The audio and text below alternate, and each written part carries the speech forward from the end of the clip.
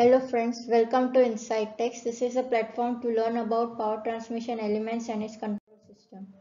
So friends, in today's video, we are beginning a new series on how to read the panel drawings. So in substation control panel drawing reading series, today we are going to see the wiring for CT and PT inside the control panel. So friends, this is as you can see on here, this is the single line diagram of the control wiring. This is the first page of panel drawing.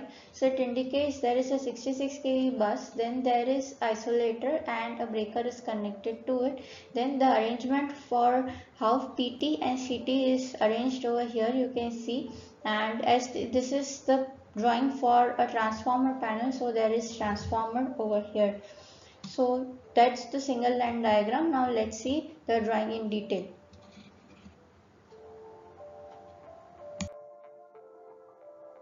So uh, as we have seen the single line diagram now this is the basic wiring diagram of how NCT and PT wiring is done inside the control panel. So for starting we have RYB phase. This is the isolator. Okay so this type of isolator for 66 kV then there is a circuit breaker this kind of circuit breaker. And this is the CT okay?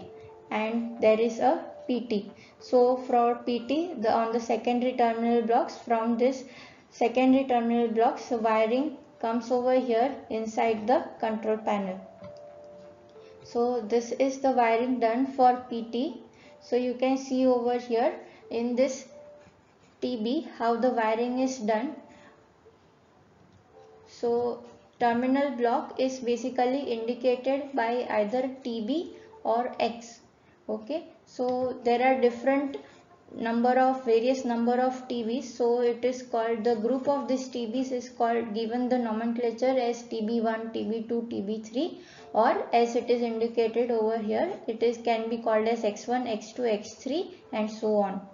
Now inside this group of TBs this individual TBs also given numbers so if we want to identify this particular TB, then the code will be like TB1.1, TB1.2, TB1.3, TB1.4 or as it is indicated over here X1.1. So this indicates this first TB of this group. Okay. So this is how the uh, we will see how the ferruling is done for wiring and how the TB indications are given over here. Now PT wiring ferrule, let us see. See the code for PT wiring is nomenclature says it is E and it is almost universal. So if you see anywhere in the drawing normally if it starts with E then it is PT P wire belongs to PT. If the ferruling starts with E then it is PT wiring.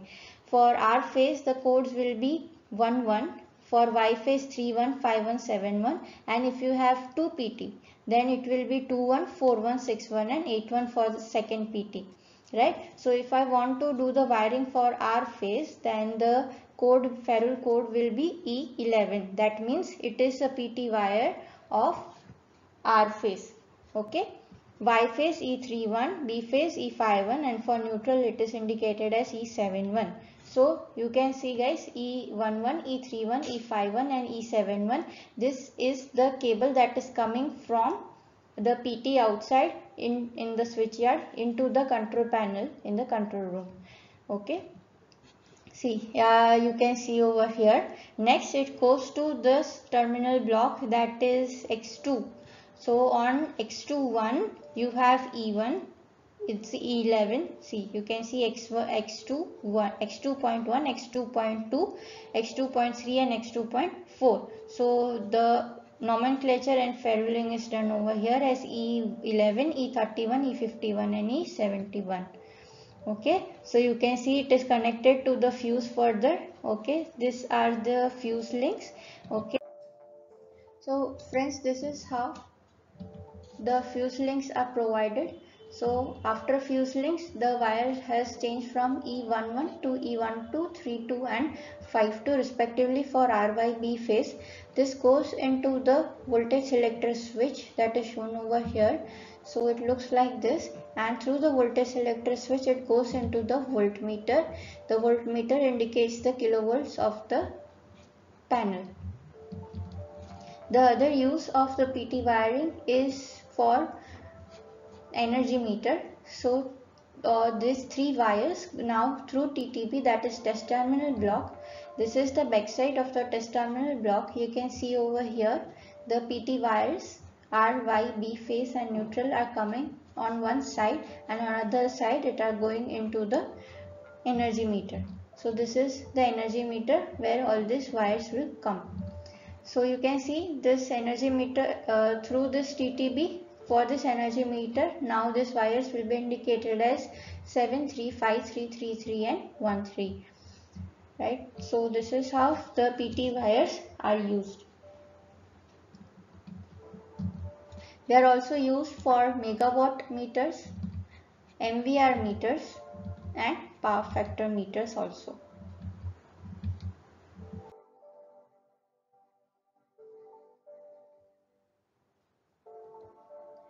So for CT wiring, you can see on the uh, TB of X 1.1, 1.2 and 1.3. 1.1, 1.2, 1.3 okay and neutral is connected on terminal number 4 right? So this is the CT wiring. Okay? It is indicated at D11, D31, D51 and D71 you can see over here.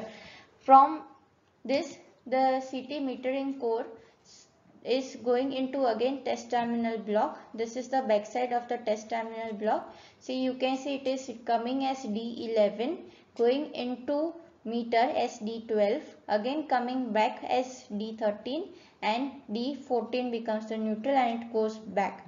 So you can see over here D11 coming into this test terminal block. This link is provided over here. If it is connected that means it is going to energy meter. If it is not connected you can uh, perform the test for this uh, energy meter over here. So this kind of links are provided for energy meter. So this is going inside. This is D12 coming outside as D13 and through this it becomes D14 going inside the mains for this megawatt meter coming outside as load as D15 again going into this MVR meter going inside as a mains and coming outside as load at D16 going inside the power factor meter and coming outside for the SD17 for ampere R phase ampere meter and again becomes neutral and comes back as D71 right? So this is first goes into energy meter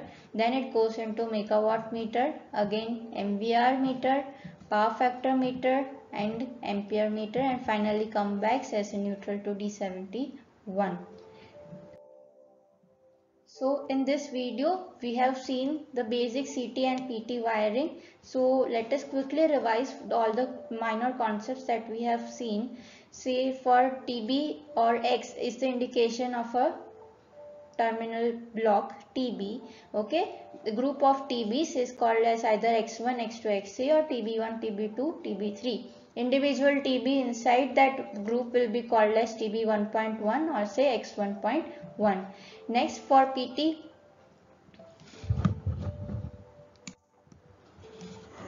for PT wiring ferrule the code is E and the phase code will be R, Y, B and neutral will be 11, 31, 51, 71 and again if it is second number PT 21, 41, 61 and 81.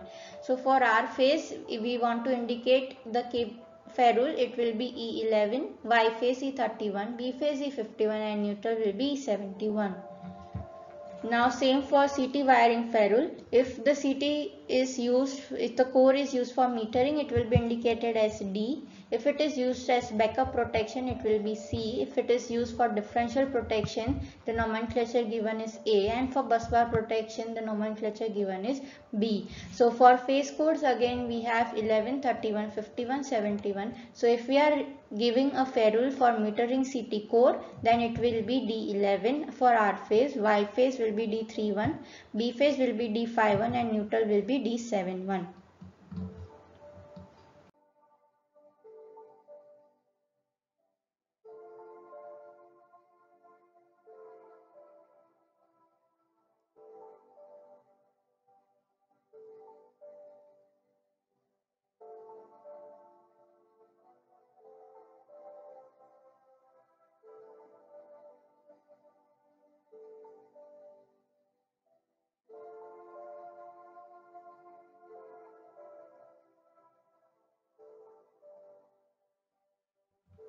So friends, this is how CT and PT basic wiring is done uh, for control panel. In next video, we will see how to read AC and DC wiring. If you have any queries, you can please ask in the comments below.